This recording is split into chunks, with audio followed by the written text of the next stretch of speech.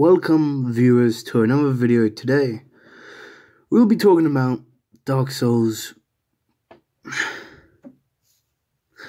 Dark Souls is one of my favorite franchises, and I know this is a little odd, but I will carry on my Fallout videos, just taking a small break from it. Anyway, let's begin. Introduction. So, this is a character we seem to know a lot about and close to nothing about. Our good and humble friend, Solaire of Astora. But to know our Sunlight Warrior, we first need to know his place of origin, Astora. The kingdom of Astora is a land full of honorable knights and chivalry. But we never play in Astora in the games. But a lot of characters come from Astora. They tend to be very nice and respectful, but there are exceptions, but we will not get into that today. The kingdom was probably led by a king and his noble and his nobles, who were probably a part of a noble family, advised the king and helped helped him in battle. Like the most kingdoms like most kingdoms in our real world. Hmm. The biggest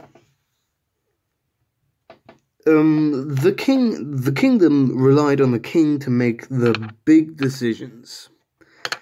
The nobles to carry them out and the knights and foot soldiers to defend and expand the kingdom. I think the kingdom of Astora has a lots of uh, counties, and I think these counties are led by a noble family, and their job is to provide foot soldiers and knights and to collect taxes for the king. And if this is true, then there needs uh, then there needs to be a royal family that ha- that holds the king and queen position. I'm not 100% sure, but I think Astora is located south of Lordran. And it seems that Astora is very wealthy because of its great craftsmanship in weapons, as most of the weapons are from Astora. Now, so, now we know a little bit more about his place of origin. We can get into his story, or a little bit about him. We first need to start with his name, Solaire. In the old European culture, Sol is the name of our sun, of our star, our sun. How fitting is that for a sunlight warrior? Solaire follows the sunlight religion made by Gwyn.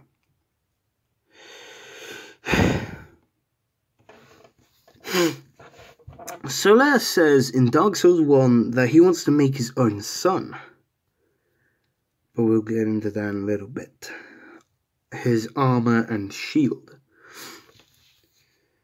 The first thing I want to bring up is the symbol of the sun on his chestplate and on his shield.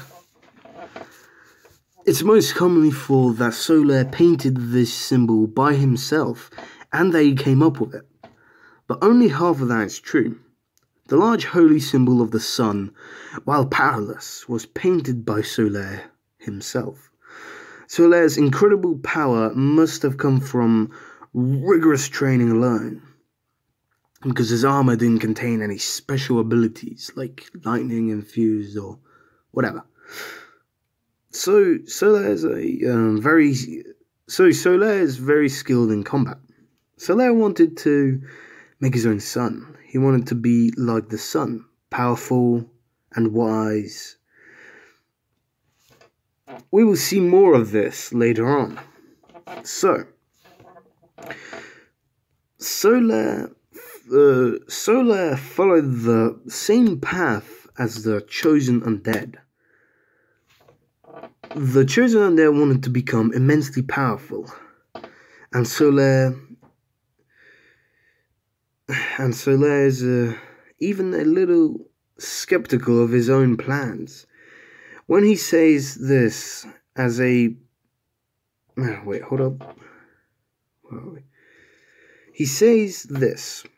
What if I'm see- I'm seen as a laughing stock, as a blind fool without reason? If Solaire was serving the sun, why would he have doubts? But Solaire is trying to find his own sun, and to me that sounds like it seems that he's doubting himself, and this will play a big part of his story in the end.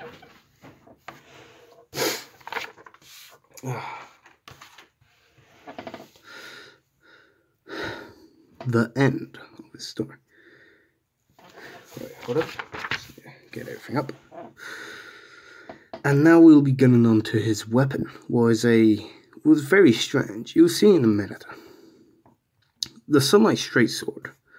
In Dark Souls 1, the uh, is a standard. Well, in Dark Souls 1, the Sunlight Straight Sword is a standard longsword belonging to Sola himself. The sword is of high quality, is very well forged, and has been kept in good repair. But it's a standard, nothing special about it. Funnily enough, in Dark Souls 3, it's imbued with the power of lightning, and then and that and um, and that it, ta- it contains the power of the sun. Maybe uh, Solaire's soul is somehow trapped or is in the sword.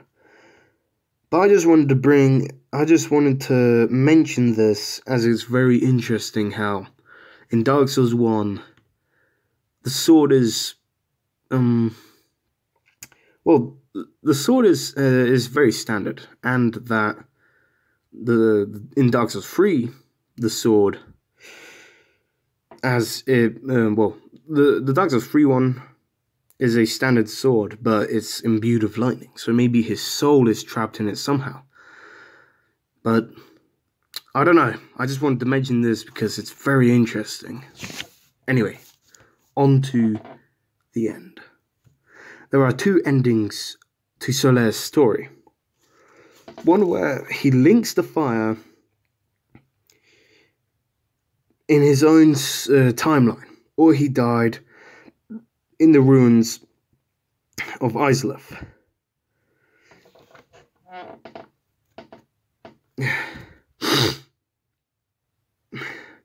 I I think in Izalith uh, him dying in Izalith would make the most sense. Because uh, when he uh, links, uh, him linking the fire requires the player's intervention out of the player, and if the player ignores him, the same thing happens. The sunlight maggot latches itself on his on Solaire's head uh, and that's the last we hear of our old uh, of our old friend. He went mad in search of the power. Why would he? Uh, why would finding his very own sun appear appease Gwyn or the firstborn? Because if he uh, does find his uh, does find a power like that, he would be a uh, rival to them and then worship. But Solaire wants to bring back the glory of the Sunlight Warriors, not knowing that the firstborn was still looking down at them. So, we got a, quite a lot of information here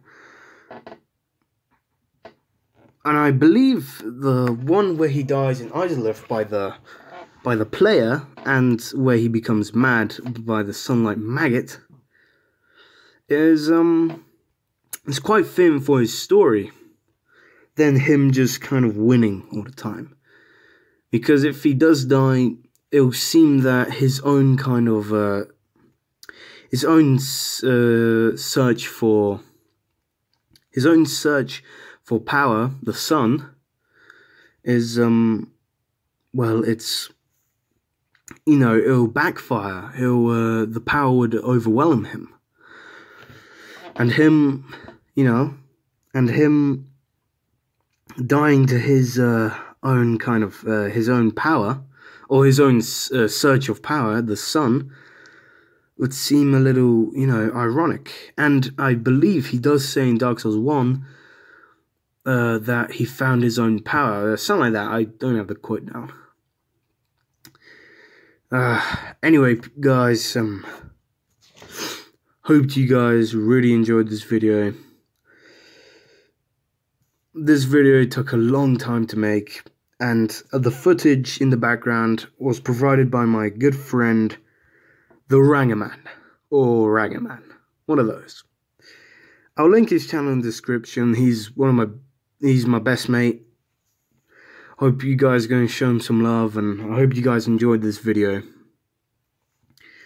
And uh, yeah, I will probably carry on the Fallout series uh, next time. Or, no, I was planning to do a. Uh, a uh, what is what are they called? Uh, like a one-off kind of thing, another versus video. So I know you guys are like those. My last versus video was my first video I've made, the NCR versus the Brotherhood. So I think it'll be interesting to make another one of those. And um, yeah, I hope you guys enjoy this video and I'll see y'all later.